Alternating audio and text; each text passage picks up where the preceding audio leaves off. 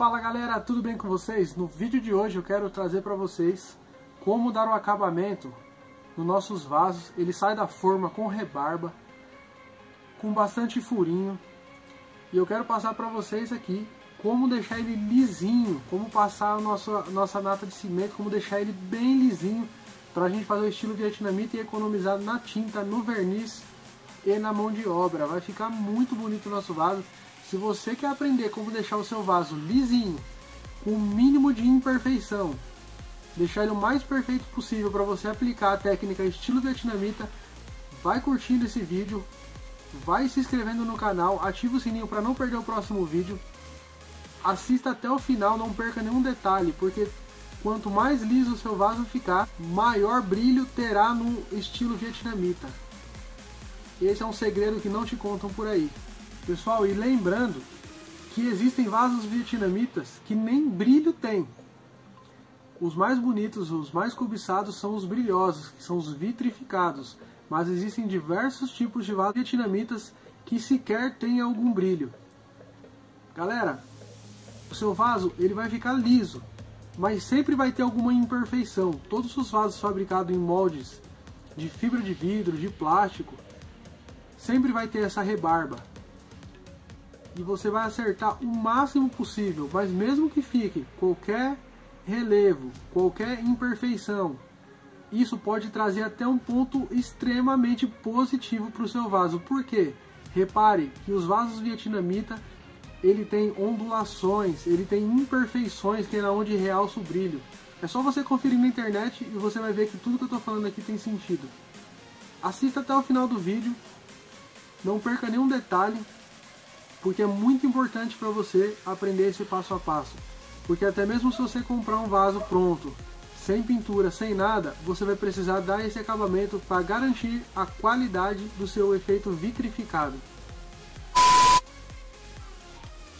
Para a gente fazer o acabamento nesse vaso, a gente vai precisar de cimento e cal.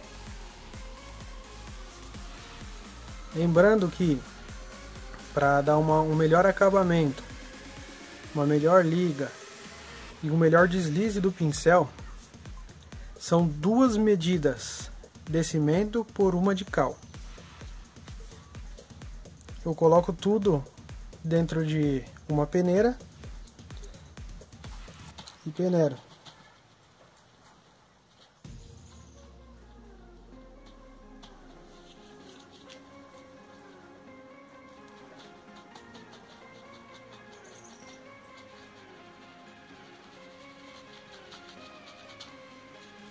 Tirando assim as partes do cal e do cimento que endureceu, que é o que atrapalha na gente dar o acabamento do nosso vaso. Que o pincel fica travando, que fica imperfeições totais no vaso. Então é sempre importante que você peneira antes de você passar. E só cimento. Uma massinha, uma natinha só de cimento. Pra gente usar ela como na espessura como se ela tivesse uma pasta de dente.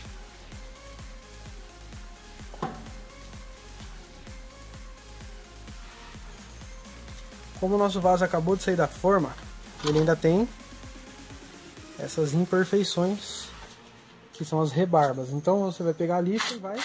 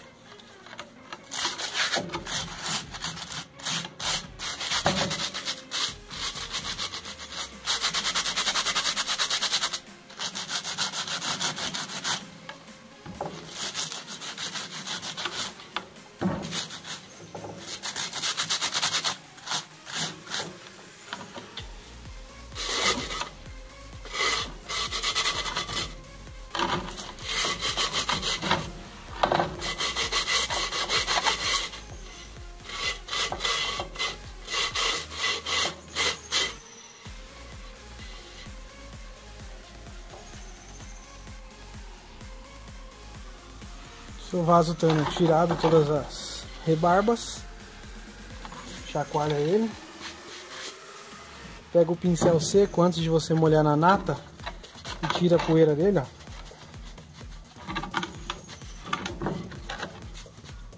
Tira toda a poeira da mesinha.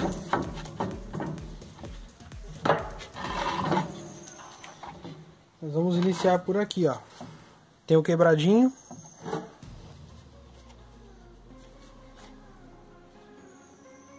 Nossa natinha.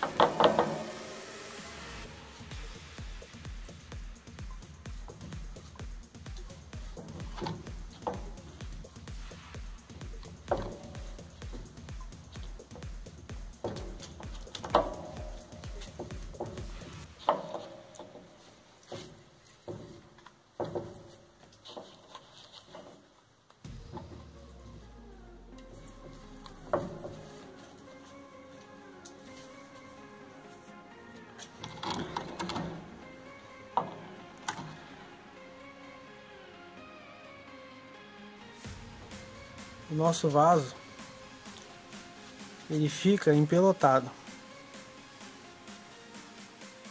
Por quê? Porque nós passamos só a nata. Agora vem uma parte importante que é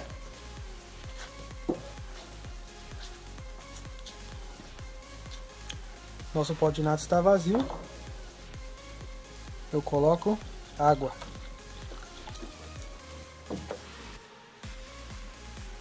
Tem um pouquinho de nata no nosso pincel ainda, vou misturar nesse, nessa água aqui. E a gente vem alisando.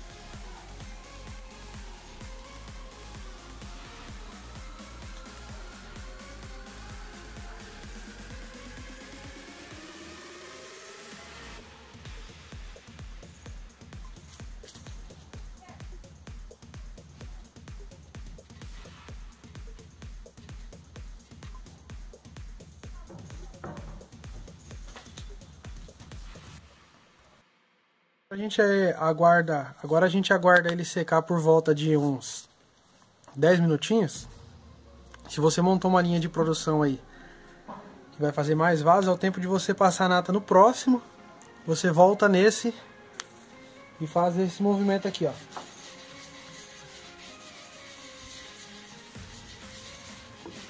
De preferência com a mão sem estar tá com luva.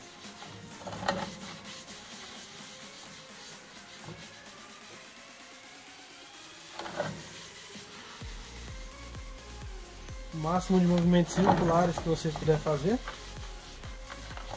Quando você começar a fazer você vai entender tanto que ele vai ficar liso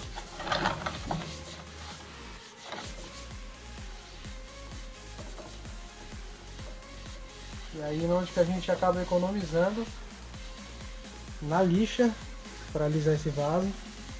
A gente economiza na laca chinesa, na tinta e o acabamento fica maravilhoso.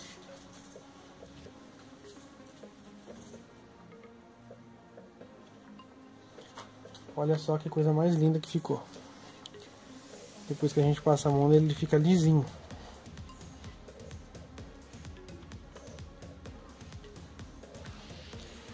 essas pequenas imperfeições que realça o brilho do seu vaso, que ele dá um tom espelhado maior.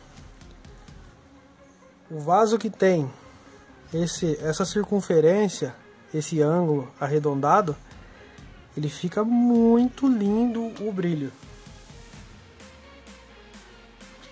E é isso aí, galera. Tá aqui o nosso vaso prontinho para receber o acabamento estilo vietnamita. Fica muito lindo, ele fica super lisinho. É só guardar secar a nata, passar a tinta e dar início ao tratamento estilo vietnamita. Em específico aqui no nosso canal, como prioridade no cimento. Tem como fazer sim. Vou deixar aqui em cima o link e também na descrição para você ir lá para o nosso vídeo de como fazer o acabamento estilo vietnamita. Esse aqui é o preparatório para receber o estilo vietnamita na superfície do seu vaso. Não tem segredo, é muito simples e é muito importante que você faça este acabamento antes de receber a tinta, para preservar a sua tinta e dar um melhor acabamento no seu estilo vietnamita. Galera, esse é o vídeo de hoje, espero que vocês tenham gostado. Obrigado por estar aqui no nosso canal. Vocês que não é inscrito, se inscrevam. Não perca nenhum conteúdo deste canal. É muito simples para você não perder. É só se inscrever, ativar o sininho e ficar ligado aqui com a gente. Muito obrigado.